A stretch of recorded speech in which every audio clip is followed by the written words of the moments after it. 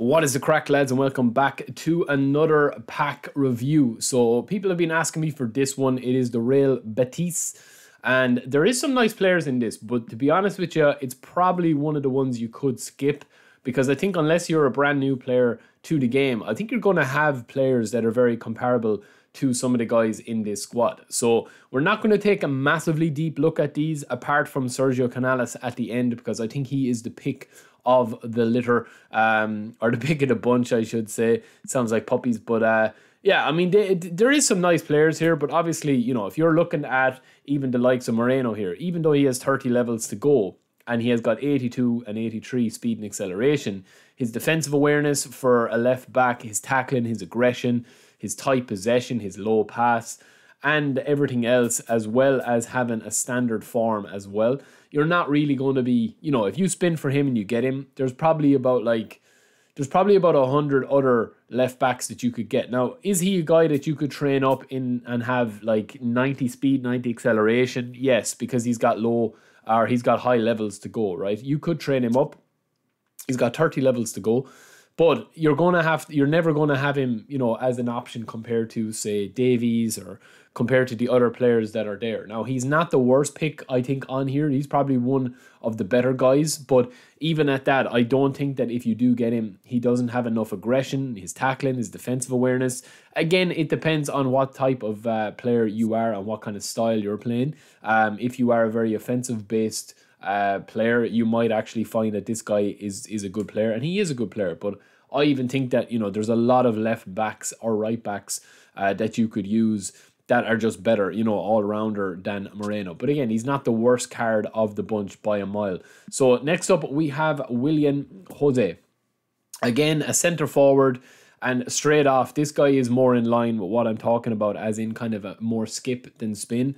I think if you look at his speed and his acceleration, yes, it's not all about speed and acceleration, but he's got standard form, he's on C rating. He has got a lot of player skills, which is impressive enough, such as heel trick, rising shot, heading. He's a tall guy as well, so he's going to be able to score you goals with that 81 heading if you boost that up to 90 and the physical contact up to 90 as well. And you just stay away from his pace. Like if you use this guy as a Didier Drogba, Ibrahimovic style player, he will be good for you. There's no doubt about that. And again, as I always preface these uh, player reviews, it's very, very, very easy to review a player and discount him or write him off. He could be a beast for your play style, and he could be a beast for you. If you play with a, you know three centre forwards up front, and you've got two SSs, and you've got one centre forward, that's just a target man. Like this guy could be a monster for you because he will be having fairly decent stats with those 26 levels that you can train him up in. Um, but for me, yeah, I don't think that he's going to be somebody, especially when you need to give a couple of points to every play style apart from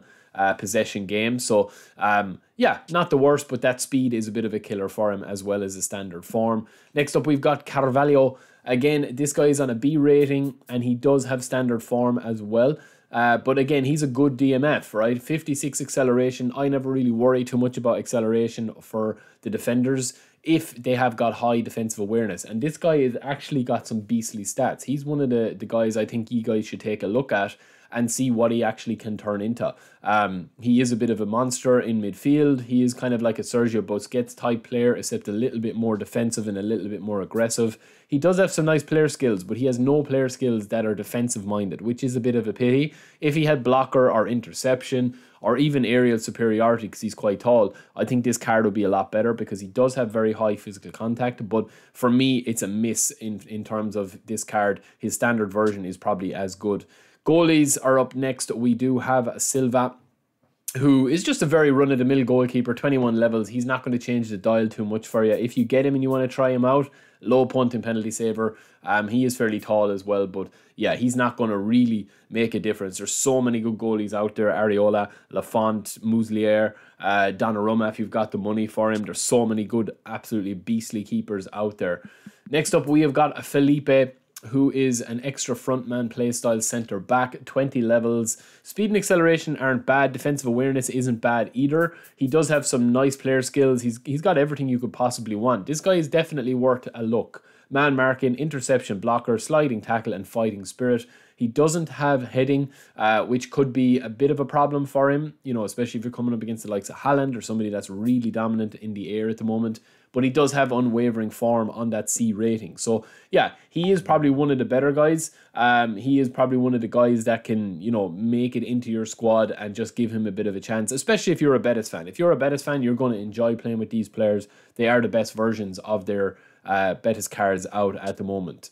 So third from last, we have Wanmi or Wanme I can't pronounce his name. Is it Wanme? He's got 36 levels. So this guy's a very intriguing player uh, to review and to look at, right? So we are going to actually take a quick look at him here and we will discuss, like, as a winger, is he going to be able to... Uh, is he going to be able to kind of like make that jump into starting into your starting team, right? So, so actually heading over here to efootballdb.com, we'll take a look at Sergio Canales in a second, but the player ratings are still being updated. The player levels at the time of recording this, uh, he had a couple of more levels to go. He goes to three, three more levels to 36. But even at that, he has got some really nice stats. And he also has some nice uh, player skills as well, which we'll look at. But he's got some really nice stats. You're going to get his dribbling and his speed up to about like 85, 86 and his ball control dribbling type possession is dribbling up to maybe about 90 when you have him fully maxed out. And if you go back to actually look at his player skills over here,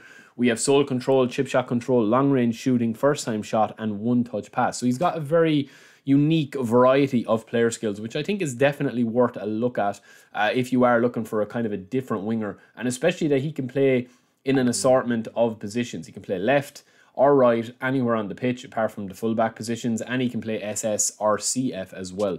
So yeah, very very good player. And then we've got Fekir, who we have here. Uh, that rhymes. I'm a rapper. AMF 30 levels. Again, a very good player, but he is on D form, which is a big pity. He does have unwavering. He's got a lot of player skills, including weighted pass, through passing, and all the shooting uh, skills that you would want. But to me, lads, he's not going to cut the mustard, I think, for other players in the game uh, if you are looking for an AMF. But obviously, as this is a random spin and you are going to be getting a random player with this 100 coins, it is going to be something that if you do get him, you definitely can get him up to like a 92 overall player. So last but not least, we are going to look at the pick of the squad, I think, in Canales. I think Canales is probably a top 20 player in the game when you train him up correctly. And I'm going to show you guys in a second just how good he can actually be over on efootballdb.com. But looking at his player card here, We've got AI playing style. So he's got amazing run, speeding bullet, long ball expert, and long ranger, right? So he's an all rounder. He can play right mid, right wing, center mid, or AMF.